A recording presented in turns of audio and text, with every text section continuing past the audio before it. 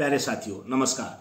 दोस्तों, आप लोगों में बहुत कमेंट्स आ रहे हैं कि, सर, आपने शहीद अमृतपाल के ऊपर कोई भी वीडियो नहीं बनाया? दोस्तों, सबसे पहले तो मैं भगवान से गुजारिश करता हूँ, भगवान से प्रार्थना करता हूँ कि शहीद अमृतपाल की आत्मा को शांति दे। दूसरा, दोस्तों, तेरह तारीख से मैं कुछ काम में बिज़ी था, तबीयत ठीक नहीं थी, इसलिए मैं कोई भी वीडियो नहीं बना पाया। मैं कल ही घर वापस आया हूँ तो अब वीडियो बनाएँगे। देखिए शहीद अमृतपाल को शहीद का दर्जा नहीं दिया गया, ये बहुत ही शर्मनाक बात है। इससे बड़ी और शर्म की क्या बात होगी? एक 18 साल की उम्र में लड़का आर्मी के अंदर भर्ती हो जाता है और एक साल के अंदर अंदर ट्रेनिंग करने के अंदर यूनिट में जाते ही शहीद हो जाता है और फिर उसको शहीद का दर्जा नहीं दिया जाता। अग्निवीर योजना जब से लागू की है, इसका शुरू से ही विरोध किया जा रहा है। और इसके अंदर कौन सी कौन सी पॉलिसियाँ बनाई गई हैं, कौन से कौन से नियम कानून बनाए गए हैं, वो किसी को भी नहीं पता। अभी कुछ दिन पहले करीब 20-22 लड़कों को ट्रेनिंग सेंटर से बाहर कर दिया गया, उनको घर भेज दिया गया। ये बोल के कि आप लोग 30 दिन से ज़्यादा एडमिट रह चुके हो ट्रेनिंग से बाहर रहे। थे देखिए, पहले क्या होता था, एक बार आप भर्ती दफ्तर से चले गए हो आर्मी के लिए तो जिस दिन आप बीआरओ भर्ती दफ्तर से आउट होते हो, उसी दिन से आर्मी की जिम्मेवारी है। आप एक सरकारी कर्मचारी हो जाते हो, कुछ भी होगा, आपको पूरी फैसिलिटी मिलेगा। लेकिन इसके अंदर ऐसा कुछ नहीं बताया गया है। इसके अंदर तो जब उन लड़कों को भी नहीं पता था ट्रेनिंग के दौरान ये बिल्कुल नॉर्मल है कि किसी का पैर फ्रैक्चर हो जाना है, किसी के हाथ फ्रैक्चर हो जाना है, किसी को पीलिया हो जाना, कोई ना कोई बीमारी लग जाती है क्योंकि ट्रेनिंग के अंदर ज़्यादा भागा दौड़ी होती है और सभी नए लड़के होते हैं ना समझ होते हैं, ज़्यादा पानी नहीं पी पाते, इसलिए पीलिया हो जाता है, पैरों के अंदर फ्रैक्चर वगैरह हो जाता है तो उनको एडमिट करा दिया जाता है, फिर जैसे वो ठीक हो जाते हैं।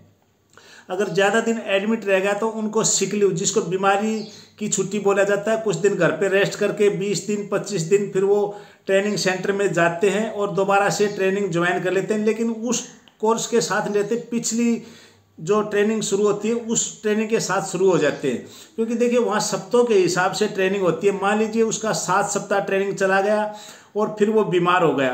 तो उसके साथ वालों का तो जब तक दस ग्यारह वीक चले जाएँगे ट्रेनिंग करते तो उस जो पिछला बैच है जिसका ट्रेनिंग का सातवां सप्ताह चल रहा है, उसको उसी के साथ मिला दिया जाता था, ऐसा पॉलिसी था।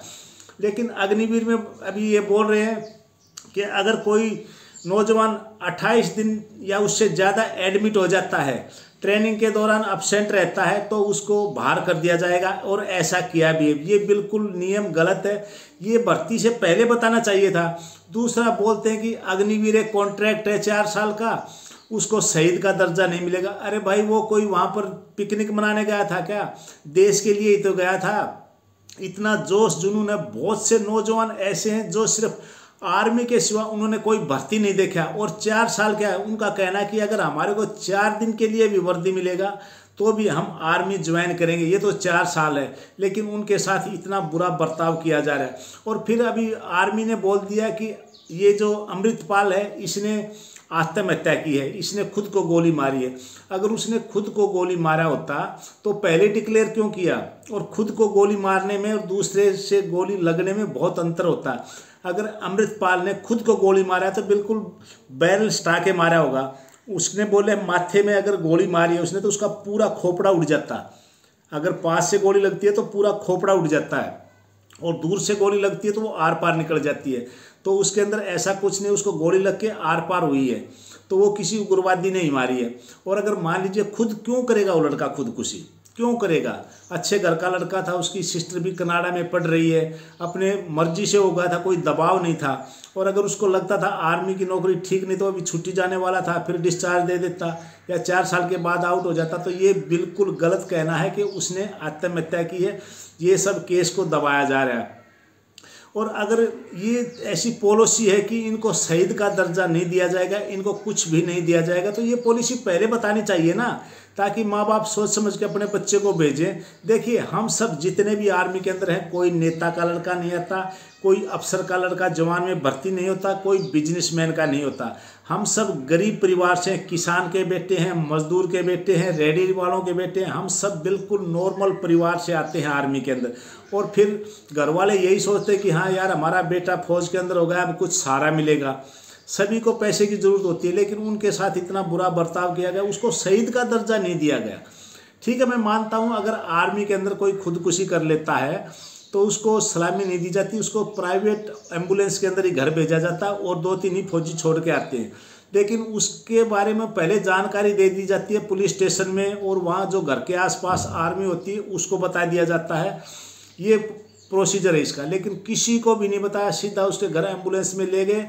उसके शरीर को और उधर सौंप के आ गए तो ये दोस्तों बहुत गलत हुआ है, लेकिन अभी देखते हैं इसके अंदर क्या होता है। अगर उसने आत्महत्या की होती तो ये पहले डिक्लेयर कर देती आर्मी के, उसने आत्महत्या की है। पहले बोलते हैं कि संदिग्ध है, ऐसा लग रहा है, ऐसा कुछ नहीं होता। सेना के अंदर तुरंत फैसला लिया जाता है, तुरंत डिसीज़न लिया जाता है।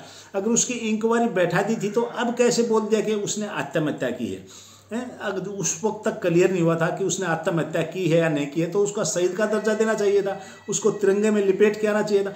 हर सैनिक का सपना होता है कि मैं या तो तिरंगे में लिपट के आऊँ ठीक है तिरंगे में लिपट गया हूँ ये हर सैनिक का सपना होता है। लेकिन उसने शहादत दे दी इतनी कम उम्र में 19 साल की उम्र में उसने शहादत दे दी, लेकिन उसके साथ गवर्नमेंट, ये तो अच्छा है, पंजाब गवर्नमेंट का, जिसने उसके परिवार वालों को एक करोड़ का चेक दिया, भगवंत मान जी ने, हम उस मुख्यमंत्री साहब का बिल्कुल तहे दिल से धन्यवाद करते हैं कि किसी ने तो उसकी सुध ली, लेकिन पैसा भरपाई तो नहीं कर सकता किसी के बच्चे की। लेकिन जितना भगवंत मान जी से उन्होंने किया है। तो दोस्तों देखिए ये अग्निवीर के अंदर और क्या क्या पॉलिसियाँ, अभी तक किसी को भी नहीं पता। ये अग्नि, पहला शहीद हुआ है अग्निवीर। पहला अग्निवीर शहीद हुआ तो बोल दिया इसको शहीद का दर्जा नहीं दिया जाएगा। जब सेंटर के अंदर लड़कों का कसम खाने का टाइम आया तो उनको उस टाइम बाहर कर दिया कि आप कसम नहीं खा सकते, आप घर जाओगे, आप आर्म, ये नियम है अग्निवीर का तो जो जो नियम है वो सभी दिखाने चाहिए ना, बताने चाहिए, तभी तो किसको भैया अग्निवीर में आना है, किसको नहीं आना, ये सब पहले दिखाना चाहिए। तो दोस्तों, देखते हैं भी अग्निवीर के अंदर और क्या क्या नियम है, अभी तक किसी को नहीं पता कि अग्निवीर के अंदर नए नए क्या क्या नियम बनाए गए हैं।